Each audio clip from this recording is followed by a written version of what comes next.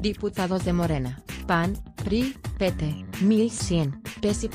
pactaron quitarse cada mes 36.721 pesos de salario recibido a través de prestaciones que muchos mexicanos no tienen o no han tenido, como seguros de vida y de gastos médicos mayores y vales de comida. Hay una reducción de 28% en la remuneración mensual de los diputados federales, que incluye sueldos y salarios, apoyo a la seguridad social, ahorro solidario, proporción mensual de aguinaldo, seguro de vida institucional, del seguro de gastos médicos mayores, del seguro de separación individualizada y la cancelación del fondo de ahorro, señaló Mario Delgado Carrillo, coordinador de los diputados de Morena.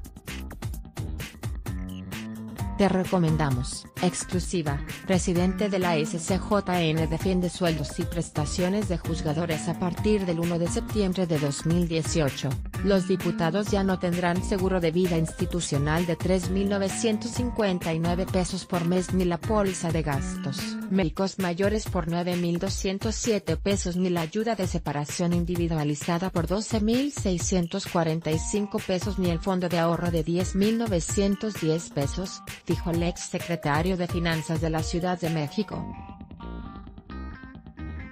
Otro de los gastos pactados a ser recortados en la Junta de Coordinación Política, JUCOPO, fue que no habrá más dinero para remodelación de las oficinas con cargo a la Cámara de Diputados, así como se reducirán los viáticos para viajes nacionales e internacional y un recorte al gasto corriente para eliminar la compra de galletas, agua, toners, entre otros.